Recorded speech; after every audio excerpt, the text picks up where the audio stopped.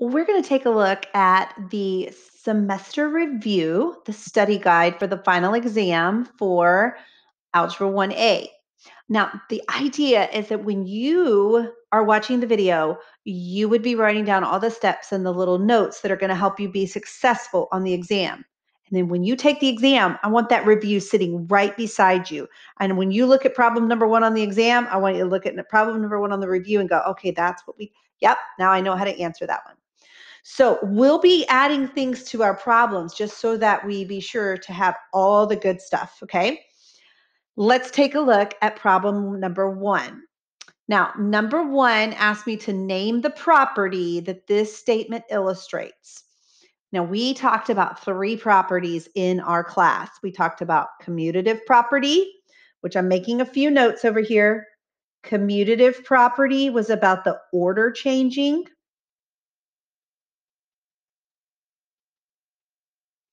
We talked about associative property, which was about the, the groups changing. And we talked about distributive property. And in distributive property, the only way I know to tell this one is to just give you a, little example so that you have it here, right? Where we did the distributing the 2 to the x, distributing it to the 3. Now, looking at this example, which property does it fall into? Did the order change? If it did, then it's commutative. Did the groups change? I don't really see any groups, by the way. Or did the distributive property happen? It looks to me like this is commutative because notice that the 27 came first on the left and then the pi, but on the right, the pi came first and then the 27. Oh, I forgot to tell you, I'm super colorful when I do this. So you're going to see me use different colored pens and different highlighters. That's just how I roll when I do things. So, all right, friends. So number two asked me to name the subsets of real numbers to which the number negative seven um, belongs. Okay, so negative seven, because it's negative, I know it's got to be in the integers. So you'll make a note to yourself that integers are positive and negative whole numbers. Now, friends, when I do these, I'm going to give us some examples, okay? Okay, I didn't put all of them, but I gave you a few examples of what integers are. Okay. Negative 7 is also a rational number. It's a rational number, and these are numbers that can be written as a fraction. Now, you may ask yourself, how is negative 7 written as a fraction? I want you to think of negative 7 over 1. We can write any number as a fraction by putting it over 1. And then finally, it is a real number, but we were just asking for the subsets.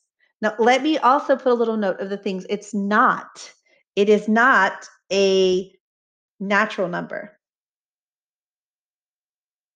Those are the numbers we teach little kids to, to count with, right? We teach babies one, two, three. Those are our natural numbers, okay? It's not a whole number. A whole number is the one, two, three, and then we throw in zero because we teach them that they have no more candy, right? So those natural number, whole number, the uh, this number is not okay. So I'm not going to circle it, but I want you to see that it's not falling into those categories, and I want you to have some examples of the ones that it does. The only other one that we're missing are the irrational numbers. And this one's not irrational because these are numbers that can't be written as a fraction. So they're decimals like pi and square root of five and all of that good stuff. All right, keeping going. Number three, want to write an algebraic expression for the word phrase. So I want to take these words and change them into variables and signs like plus and minus and times. Okay, so 15 plus, that's pretty easy to translate, right? the quotient. Quotient is a word that means division. Watch the order though, because 60 comes first and then W. I've got to divide 60 divided by W. Now, you and I both know that final exam is going to be multiple choice. So let's list some other things it could look like. We could write division as 60 divided by W as well. Mm-hmm. Okay, good. I didn't take a look at the final exam before I came on to do this recording, but I know that we also got to know the word product. And the word product means multiply. So I'm going to put that over here on my notes. Got a little, have a little extra, right? So there's my answer for this one. It's either or, and it just depends on what's given in the answer choices. Okay. All right, number four. I got the square root of 9 sixteenths. Now, when you have a square root with a fraction, do you think of writing it as separate square roots in a fraction? Might make it a little easier for you. Because you can type square root of 9 in your calculator and get 3. You can type square root of 16 in your calculator and get 4. And there you go my dear. That works just just fine. Um, also, did you notice that I'm giving you the lesson numbers for this so that you'll know where to go in the course? If you want to go back and practice some of those concepts, you definitely can do that. Okay. All right, friends, I went ahead and brought my calculator over for the next few questions because I really want you to use your calculator on this one. If you don't have a graphing calculator like the one I've got over here, that's okay. Feel free to use Desmos for now. Okay, just realize that this one's going to be the one that we have to use for state testing. But I understand you may not have one right now. That's okay. Let's look at number five. I'm going to set it up to get ready to use that calculator for. It told me A over B. Now, friends, I need you to remember that that really means A divided by B because we're going to put it in our calculator that way. We're going to do 1 fifth divided by 10 elevenths, and that looks a lot like hard work. But here's the deal, friends. If I can tell the calculator what I need, it can do the heavy lifting for me. So here's exactly how I want you to type it in. Now that division is the button, not what it's going to type. I'll show you what it's going to type here in a minute. It's going to do 1 divided by 5, and then it's going to draw that slash. But to get that slash, you have to press that divide by button. So let me show you what that will look like.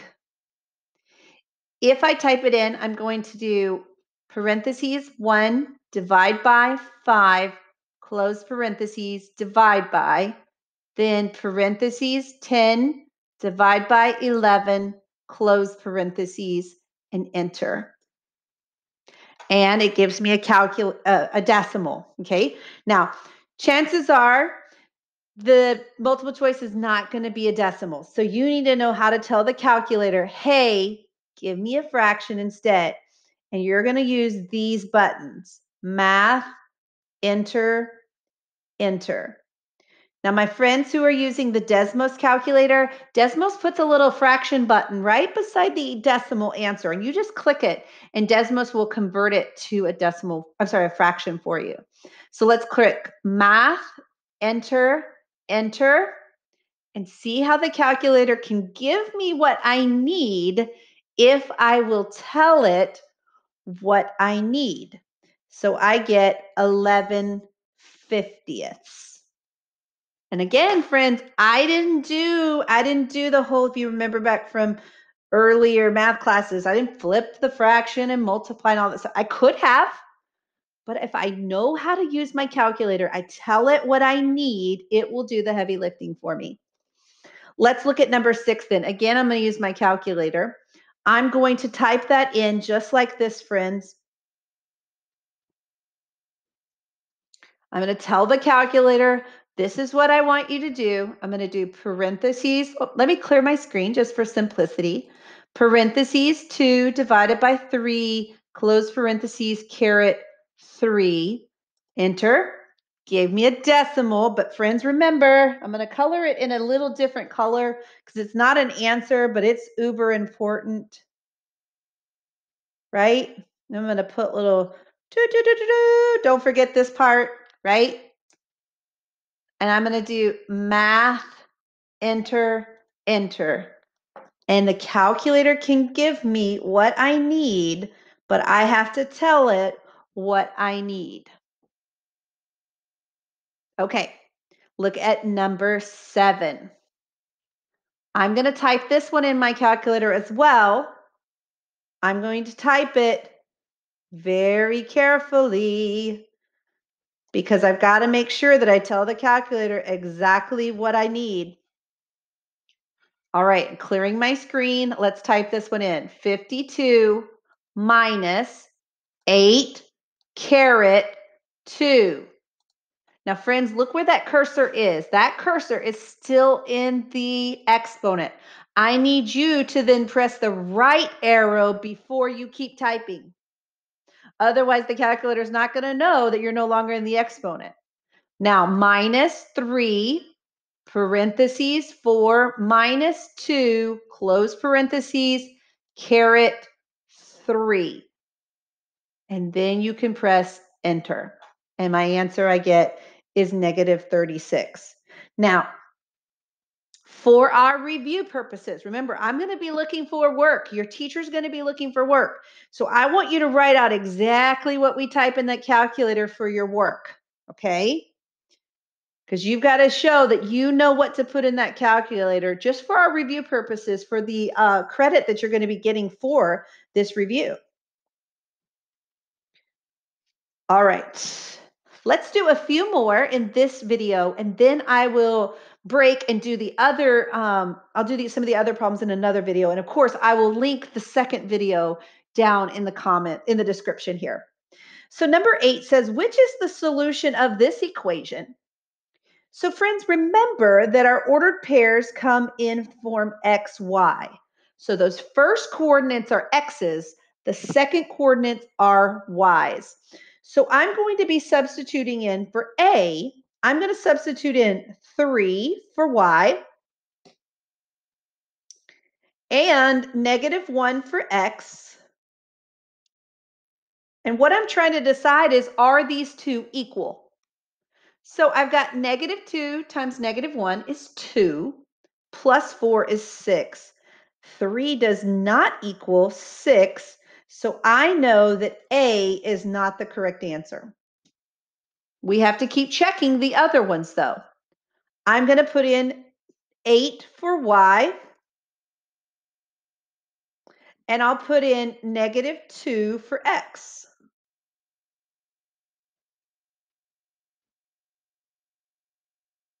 And so that gives me 8. Then I have negative 2 times negative 2, which is 4. And that gives me 4 plus 4, which also is 8. And that tells me that is my answer. So really, friends, I'm trying to get to find out which one is equal on both sides. Let me go ahead and remove my calculator out of the way just so we have more space. It's always good to have more space when we're working. There we go. All right, let's look at number nine. Okay. On number nine, we ask ourselves what's happening to the variable. What's happening to n? It's being multiplied by 3, it's being subtracted by 4. So we're going to do the opposite of subtracting 4. The opposite of subtracting 4 is to add 4 to both sides. That gives me 3n. Notice that minus 4 plus 4 cancels each other out equals 15. And now I'm going to do the opposite of multiplying by 3. The opposite of multiplying by 3 is to divide by 3, and so that n is 5. And that will be my answer. Now, don't forget, you can always go back in, plug in 5 for n, and see if you get the same on the other side. That's a one way to check your answer. Let's look at number 10 then. Ask yourself again, what's happening to the variable? X is being divided by 7. So we're going to do the opposite of dividing by 7, which is to multiply both sides by 7.